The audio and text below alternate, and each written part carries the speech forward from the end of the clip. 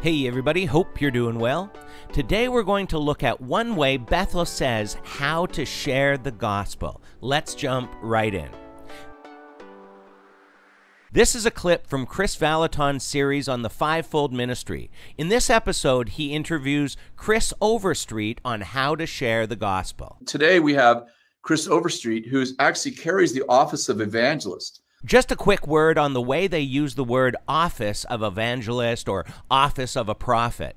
In the New Testament, the concept of office speaks to functions and tasks rather than status and position. Our office is simply our role in the body and in the relationship to the gifts God has given us. Unfortunately, Bethel and the New Apostolic Reformation use the term office in a hierarchy of leadership power, just as we saw in the last fivefold ministry video, where Kris and Danny Silk talk about apostles and prophets having more favor in God's eyes, which we showed from Scripture is not true. But they love to be respected by men, which is why they do this. And in the Bible, there was actually only one named evangelist. And Chris, a little trivia, it is Philip. Philip. Philip. And uh, and so and he worked with the apostles. Uh, we hear a lot about Philip and the apostles. And today we're talking about uh, you as our Philip. You are our Philip. Chris Overstreet is our uh, one of our evangelists, and we've sent him out. He's been, uh, if you will, apostled from this house. He's very much, we're his fathers, and he's still very much uh, in connection with us and under our relational authority exactly what I'm talking about. The pride of position these self appointed apostles and prophets have. Notice how he compares Chris Overstreet to Philip the evangelist and emphasizes his relationship to the apostles, obviously connecting that to his relationship to so called apostles in Bethel like Bill Johnson. And um, and I'll just start asking questions. And Chris, you can just pop in with new ideas that yeah. around this subject. Whatever the Lord gives you is great, and yeah. we'll just have a, a dynamic uh, conversation. So the process, uh, lots of people are asking this question, Chris. What was your process or your journey with the Lord before and after you were ordained or commissioned as an evangelist? Tell us a little bit about your journey, not so much just about your testimony, but more your journey as as yeah. becoming th- this this this fivefold office of evangelist. That's a great question, Kris. And um, to the audience, I would say you know, I remember being in YWAM, and Chris, you actually played a big role of this. You called me out, and then I was going to be an evangelist, like yeah. Candia, that miracle signs and wonders would be following my life. And so, for me, I, I think to answer that question, um, I took that word that you shared, and I took that word and I prayed over it for months. And back in the day, we had cassettes. I would listen to this recording over and over and over again. And so the process for me was number one, believing, believing the word of the Lord over my life. This prophetic declaration. The prophetic declaration, yeah. that was the call of God that was on my life. Yeah. Vallotton just seems so puffed up as he emphasizes his prophetic gift and that he was accurate in saying that Overstreet was going to be an evangelist.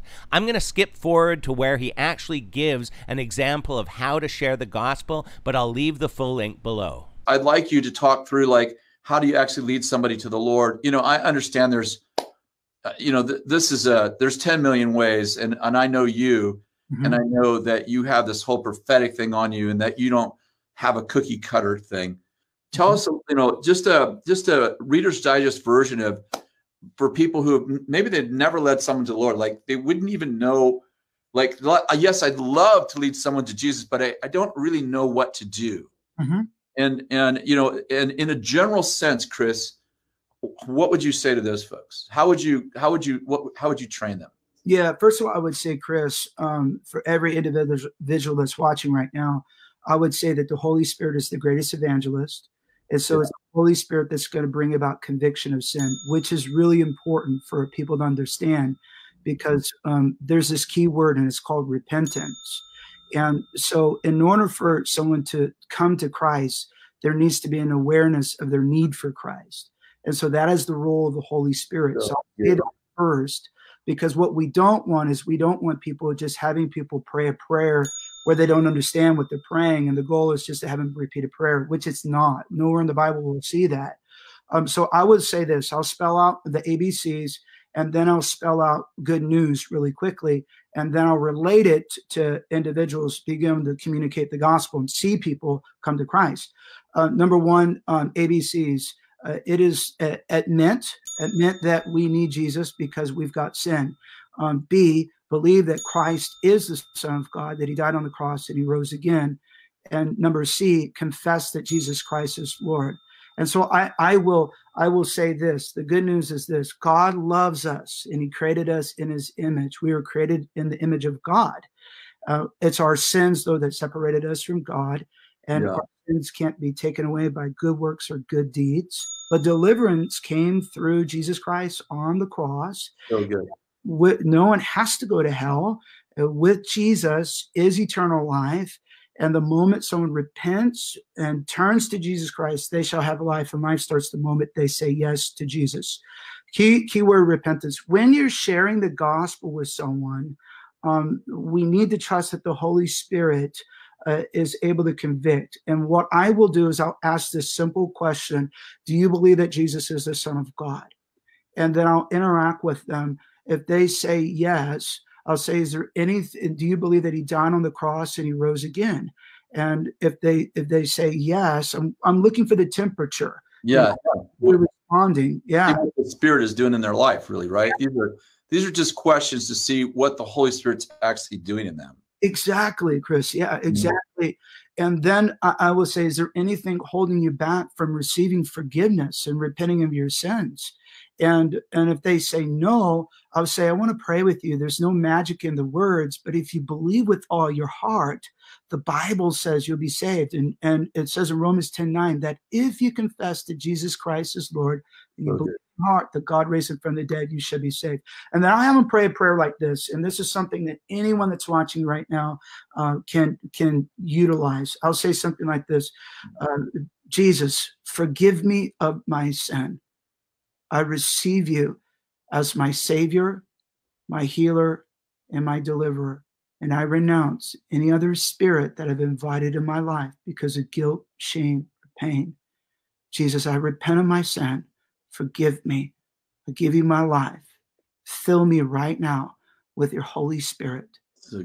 And just as you've forgiven me of my sin, I choose right now to forgive others that have done me wrong. And then I take them through a time of deliverance, of yeah.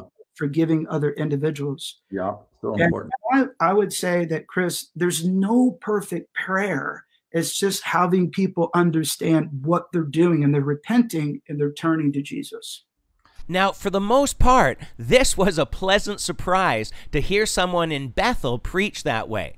For the most part, he explained sharing the gospel quite well. He hit on some key things that we rarely hear anybody talk about in this movement. We're going to break down his approach and look at a few things, but before we do that, you may be asking if you think it's such a good presentation, then why are you sharing it? Well, because I do believe there is hope for people in Bethel. I think there's people in Bethel that are saved but deceived in areas and want to encourage us to continue praying for them. With that being said, they are right in saying that there is no one way to preach the gospel. Jesus preached law to the proud and grace to the humble. And could someone get saved through Overstreet's way of preaching? Absolutely. As he said, it's the Holy Spirit who brings conviction of sin, and it's God that draws us to him in repentance. With that being said, he does say a couple of strange things. He says that the good news is that God loves us and has created us in his image. Now, while that's good to hear, it's not the good news or the gospel message. To proclaim the good news, we must first understand the bad news. He does say that we've been separated from God because of sin, but the problem is that he never explains what sin is. He talks about repenting from sin, but doesn't explain what repentance is or what the sins are that we are repenting from. Another thing he focuses on is if they believe Jesus is the Son of God. And while that's a good start, I'm sure most of us would say that before we were saved, we may have gone to church for years and believed that, but we're not truly born again yet. We know that even the demons intellectually believe that, but they don't have a committed saving faith in Christ. He correctly says that it's not about saying a prayer, but by the end, he's getting them to say a prayer without understanding what the sin is that they're being forgiven of. And this is so important. I know when I was saved, it was the realization that I had broken God's law and that the penalty of sin is death and hell. And that's exactly what I deserved. Broken and in tears, we cry out to God and admit that only Christ can save us and ask God to have mercy on us. So, in conclusion, this is not a post overly criticizing Chris Overstreet. I'm thankful to see someone that seems to have a genuine concern for the lost. I pray that Chris would come to the recent knowledge Todd White has come to in the understanding that the law is perfect in converting the soul, just like Jesus used with the rich, proud young ruler. So let's keep these guys in our prayers. As always, leave your thoughts and comments below. And until next time, take care and God bless.